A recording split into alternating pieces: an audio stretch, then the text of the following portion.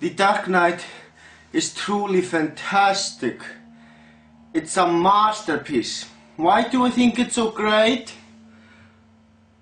Some people find it great because it has so many famous actors. But you know what I say to them? It's not all about the fucking actors. The plotline is what matters. Though I have to admit, there was one famous actor I couldn't help to notice, and that's Morgan Freeman. Now, who is Morgan Freeman, you ask? Well, he plays the main villain in this movie. Well, he also played a role in The Bucket List. In that movie, he was an old corrupted man who wasn't really enjoying himself. If you didn't already know this, Wanted is one of my favorite R-rated crime movies released in 2008. But not my favorite. My favorite R-rated crime movie of 2008 is Bangkok Dangerous. I know that not many people are going to agree with me. But you know what? I don't really give a damn. I don't! Because I know I shouldn't let bad movie reviews ruin what I like. I'm not gonna do that.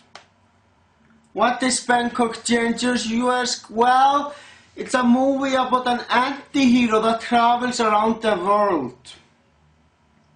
There isn't really much else I can say without spoiling the movie for everyone. This movie was simply fantastic. But there is one thing very sad about it. Heath Ledger is dead. I mean, really, he is dead. And I just find it sad.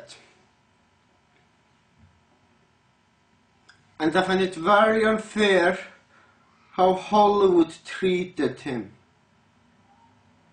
I mean, he was only 29 years old when he died. Well, something like that.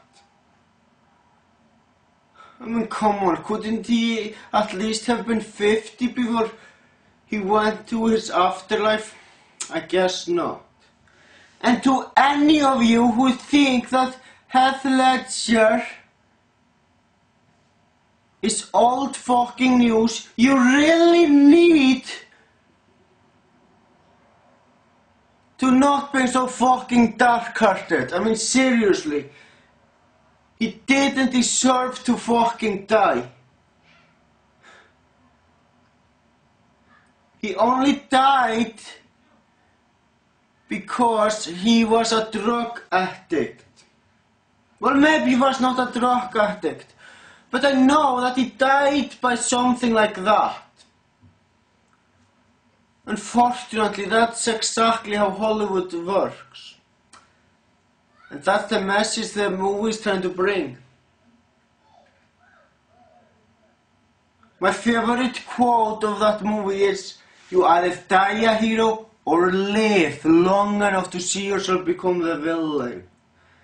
And I believe that to be 100% true. When you start to hate everything around you, you start to lose your faith and become something very evil. That's why I'm always careful about what I do in life. Be careful what you wish for because you just might get it. I think this movie is the best movie released in 2008.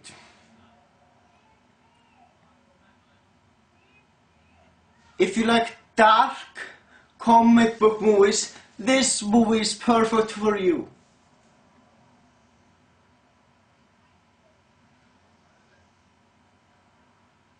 However, if you wanna see some light comic book movie, or a movie that doesn't have too much darkness, find something else. And that's my th- honest thought of the movie The Dark Knight. Thank you for watching and have a great day, everybody. Peace out.